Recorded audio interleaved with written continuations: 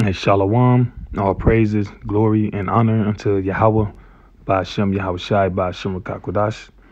Double honors to the apostles and elders of Great Millstone that rule well through the scriptures. Peace to those who elect. All right, I want to do um do a lesson on this scripture right here. Uh, Amos. Is it Amos? Let me see.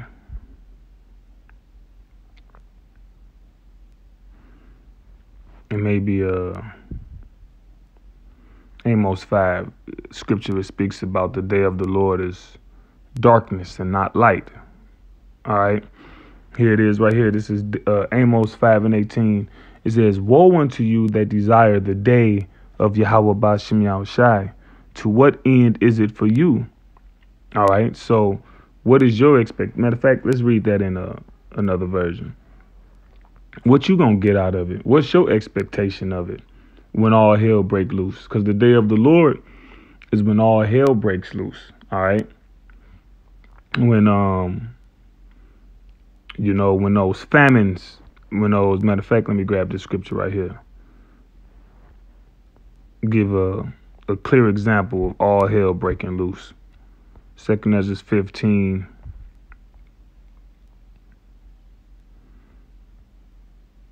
And 14. Woe to the world and them that dwell therein. Right? And woe means destruction. For the sword and their destruction draweth nigh. Right? And one people shall stand up and fight against another, race wars, and swords in their hands. For there shall be sedition among men and invading one another. Right? You're gonna be it's gonna be uprisings against the government. All right. You're gonna be invading one another for uh, lack of bread. They shall not regard their kings nor princes. Right? You're not going. It ain't gonna be no law. It's gonna be pandemonium. It says, "And the course of their actions shall stand in their power." So it's gonna be like the purge. Whatever somebody want to do, they gonna go out and do it. All right. Fear of punishment, all right, is not gonna stop them. All right. A man shall desire to go into a city and shall not be able, so city's gonna be cut off. All right. Like how you see in the um in the movies when they have the doomsday scenarios, the the end of the world scenarios, cities be cut off. They always show that. It says, For because of their pride, the city shall be troubled, the houses shall be destroyed, and men shall be afraid. All right. A man shall have no pity upon his his neighbor, but shall destroy their houses with the sword and spoil their goods because of the lack of bread. All right. Let me see.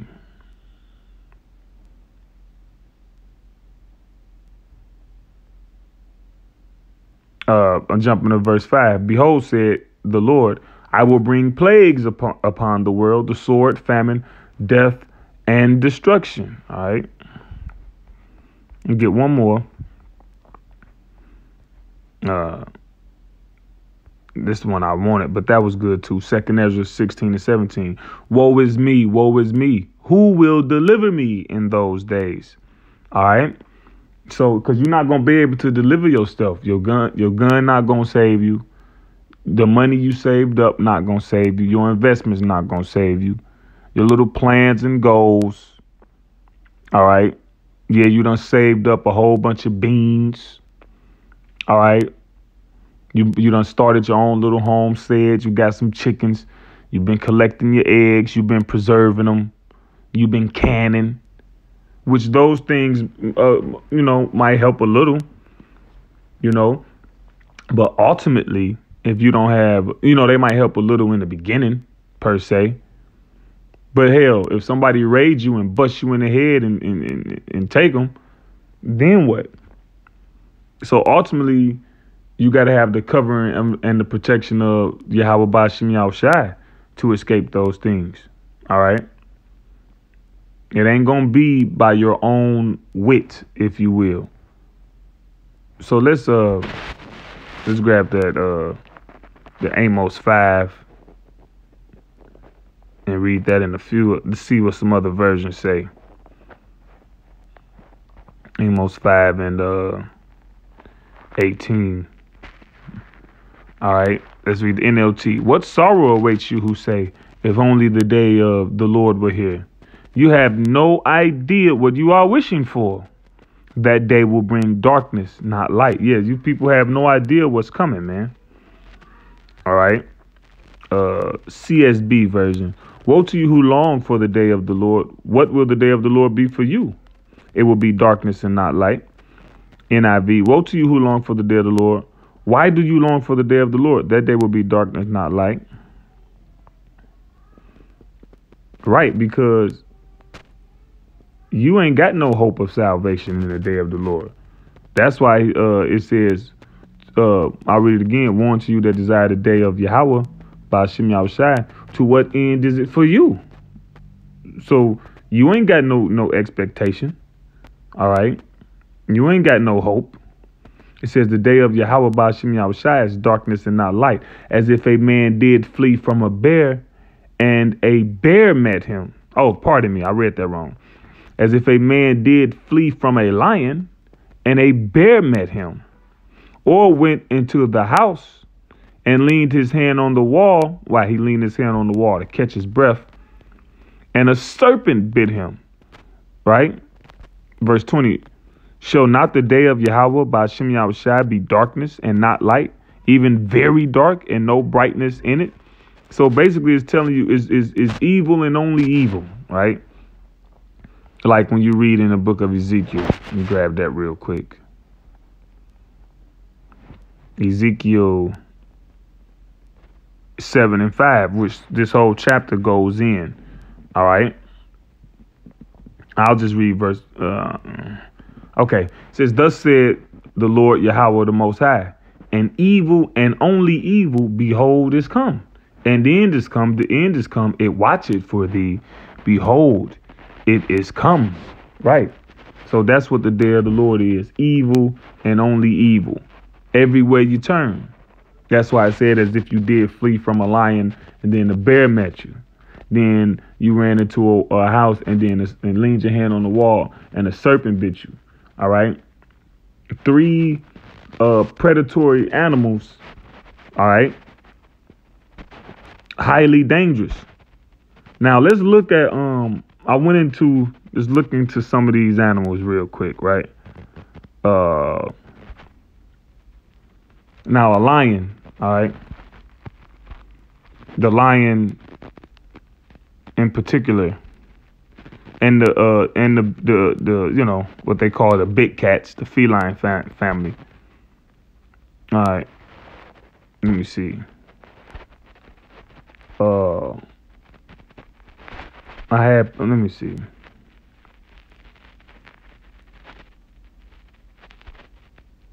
All right, it says the feline is the highest expression of the killer, and amazingly, in equal measure, the highest expression of mercy in the animal world. For only the feline will kill its prey first before consuming it. Unlike bears, dogs, hyenas, reptiles, and fish, who will eat their prey alive. You know, I'm I'm an Animal Planet buff. I like the I always have liked the animals, watching them or whatever.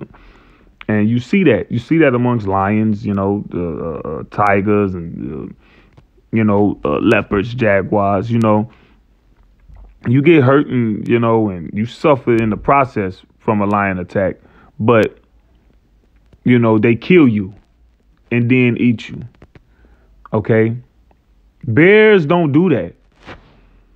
A bear is a is a, a bear is a ferocious creature you know especially them brown ones. All right? The brown bears is is, is not to be you know. Now you got this guy here. I'm gonna play the video. A guy named uh, Timothy Treadwell, which he didn't tread well. He was supposed to. He was infatuated with bears, and, and when you watch the video of the guy, if you ever see him, you know the the dude's weird. Definitely got that Edomite swag on him. You know, he wanted to live with the bears, and you know, it's just a a, a, um, how can I word it? And then, or my opinion, just looking at the video and just watch, looking at the guy's face and seeing them amongst the bear, like he had an inordinate affection for the bears. Like you can love the animals without being um that much of a fanatic, right? But anyway, he went and lived with the animals for a while. That right there, his girlfriend was scared. She didn't want to. When you read the transcripts of what happened, you know she was scared. She didn't want to be there uh, as long as he did. But they was out there living with him, living with the bears. You know. But it just so happened, well, he ended up getting eaten by a bear. Him, then his his his, his woman too. All right, but he got he ended up getting eaten by a bear, and he was always recording, you know, their day to day life, and it just so happened uh, the last six minutes of uh, the bear attack is recorded. Now there's a lot of fakes out there. All right, it's, you can't. It's hard to find.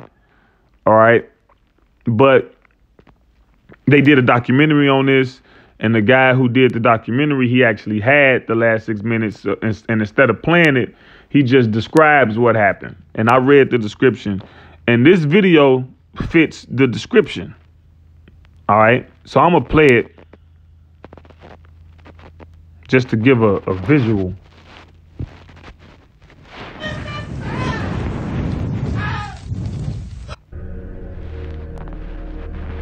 Fair use just for educational purposes.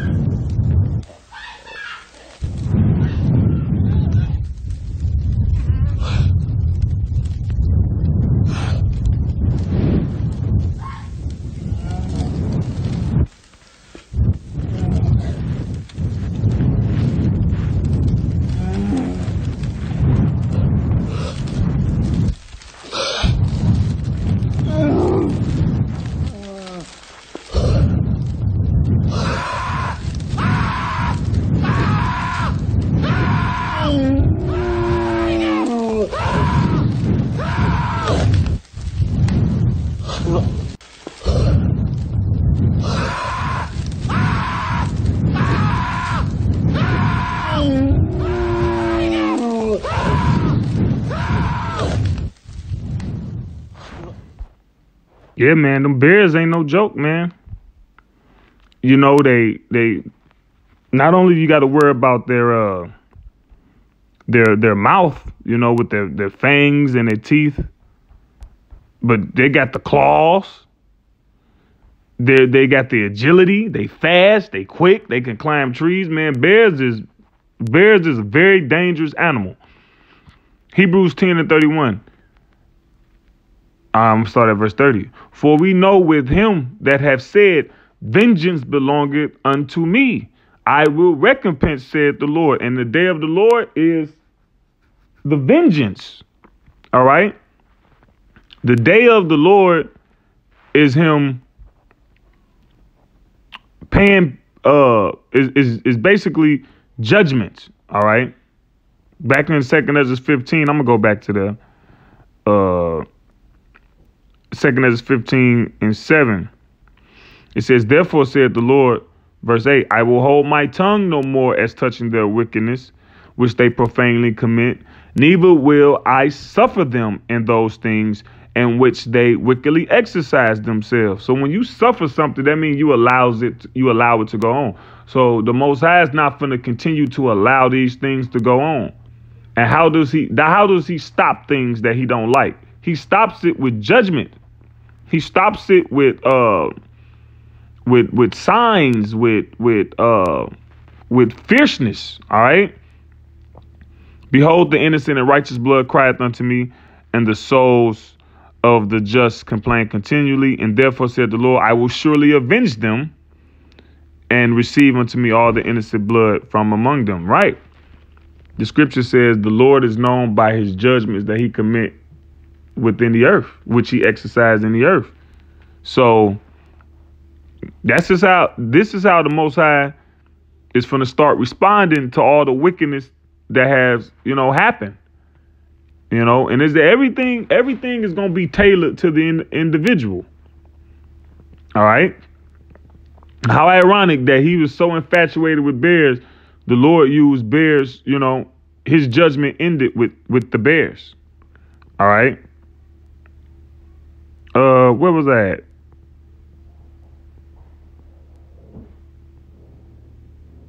Right.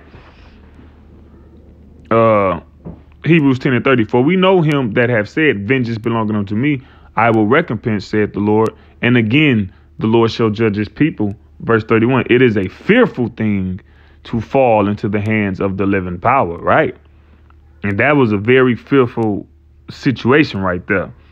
Like I said, they uh, when looking for the original transcripts, they say it's a lot of fakes out there, but that one right there fit the uh, fit the uh, the description. You know, they said it was a they said it was a, a, a woman out there. Um, they said in the in the description on the original that um, it was a woman uh, screaming um, "Play dead, play dead," you know, from um, from the tent. That's why it sounded like she was a little far away. So you know, whether it's real or not, the the point has been made, right? So then I, now you got the serpent, right? So the serpent, you know, you got four different types of snake venom, right? You got the different types, uh, proteolytic, proteolytic, however you say that, neurotoxic, uh, hemotoxic.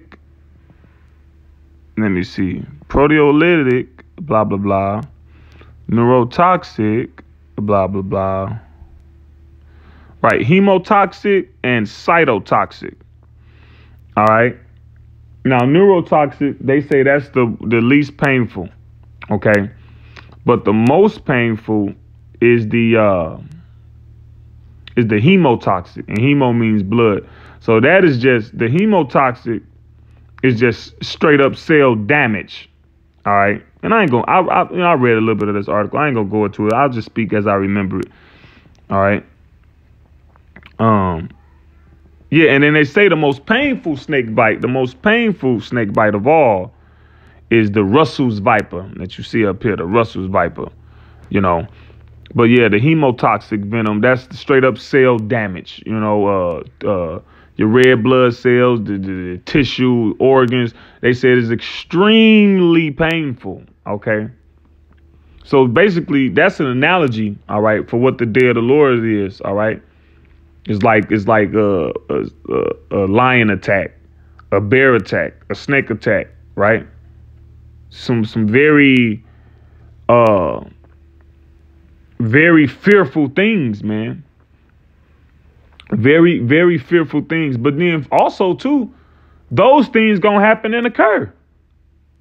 All right? There was a bear um there was a bear spotted uh, like a year or so ago. And i'm out here in indianapolis. This is the capital of indiana. It's a, a populous city city of uh, maybe uh, 1 million maybe about 1 million, 1.5, something like that. Everybody over here, people from California and more people coming in, you know, because the industry jobs, whatever, you know, Haitians, Nigerians, whatever. And uh, they had like this little division called Lawrence. And Lawrence, it ain't no, you know, woodsy, foresty, country living. No, it's is it's town, businesses, roads, and it was a bear spotted out there, man. And the scripture speaks about wild animals shall change their places, you know, for various reasons, you know.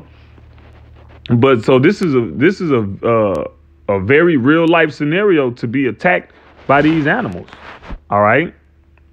And not only that, it's scriptural. And ain't gonna be no medicine. Look in the day of the Lord, ain't gonna be no medicine. You ain't gonna have access access to the antivenom and all of that.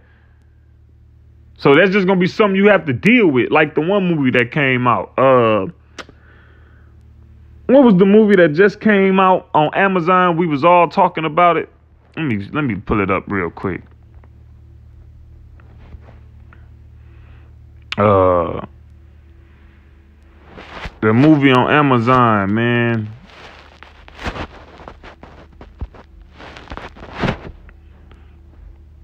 Let me see, man. Or was it uh Netflix? Hold on. I can't recall it right now, but that's all right. We'll get it. It should be coming up. The Equalizer 3 was actually good. What is it? Leave the World Behind, right? Yeah, this movie, Leave the World Behind. You know, and there was a scene. There was a scene in this movie here, Leave the World Behind, where the the son of uh, who's that? Uh, Ethan Hawke, uh, whoever that guy is, his son and uh, what is that woman name? Julia Roberts. Yeah, I think that. Yeah, their son was, you know, had an issue, you know, a medical problem and they went and found some medicine from uh uh like basically a doomsday prepper. You ain't gonna be able to find ain't gonna be no medicine. All right, especially not no proper medicine. You running into uh, CVS, you think CVS or Walgreens or Rite Aid or wherever you know the the local pharmacy, wherever you from, whatever the name is, gonna have some antivenom in there. No. All right, so you just gonna be through. So this is uh Sirach 39 and 28. There be spirits that are created for vengeance, which in their fury lay on sore strokes. So we we coming into the time of the Most High's vengeance. He said he will no longer hold his peace concerning their wickedness. For wickedness, uh, uh, uh, con- he will no longer hold his peace concerning their unrighteousness, for wickedness has exceedingly polluted the whole earth. All right, it, it's done got out of hand. This went too far. It's overboard. So now we're in the time of his vengeance, right? Which in their fury lay on sore strokes. In the time of destruction, they pour out their force. So we're in the time of destruction. And appease the wrath of him that made made them. Right. So for every action, there's an opposite and equal reaction. So the actions have been wickedness, and the opposite and equal reaction is judgment. And that's what's going to balance the equation, if you will. It says fire and hail and famine and death. All these were created for vengeance.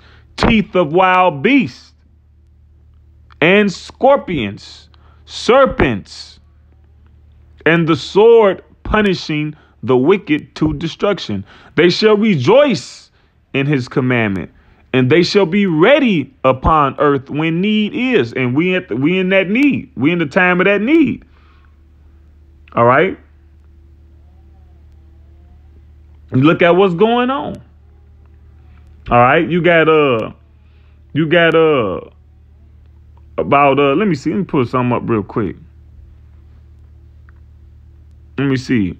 Look, let me read this. Operation Brownstone. George H.W. Bush is a known evil blah who ran the congressional blackmail child blah ring during the 1980s known as Operation Brownstone, Operation Brownstar.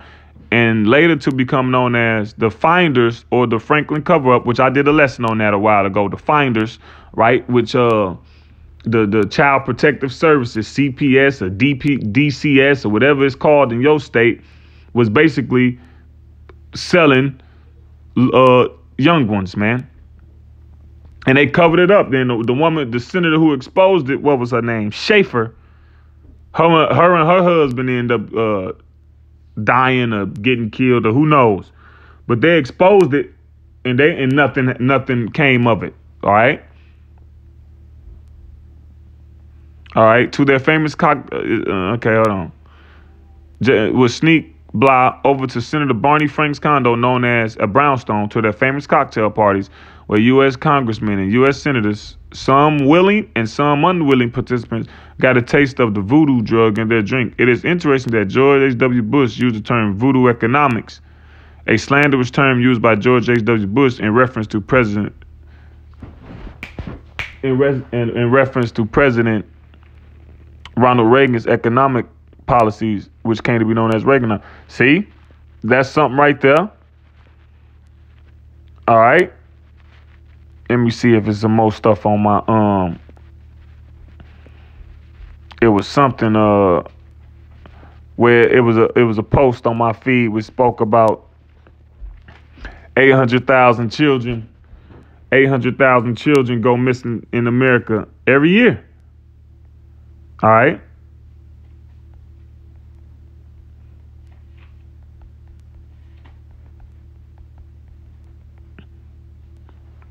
It was 800,000.